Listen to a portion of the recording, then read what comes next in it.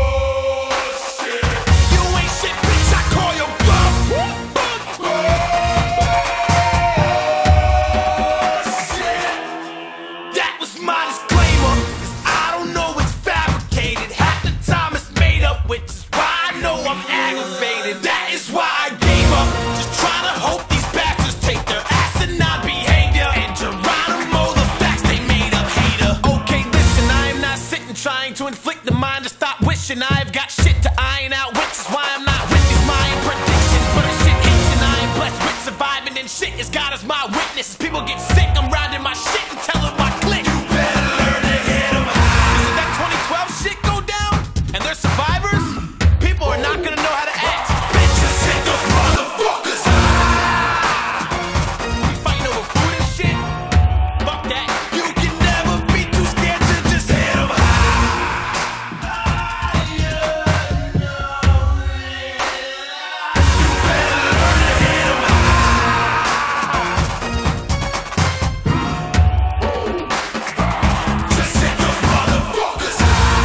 Listen, I don't know if what they told us is true or not about UFOs, but you and I can still choose to hope that we never get invaded. But whatever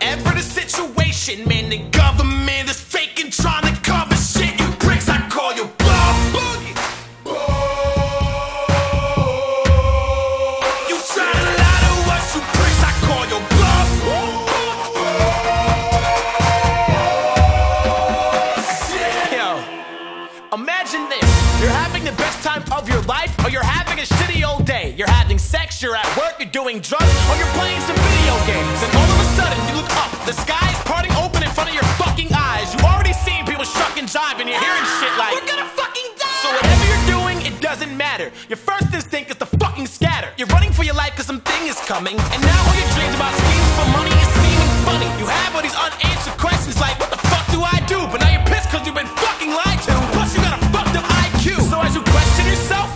all, and finally realize how life is small, you get a sense of anger that might resolve, and you lose your life for shedding light to all. But either way, some motherfucker gonna need to pay, and we ain't talking about blowing knees away. So to seize the day, you better learn to hit 'em high. Straight up, cause aliens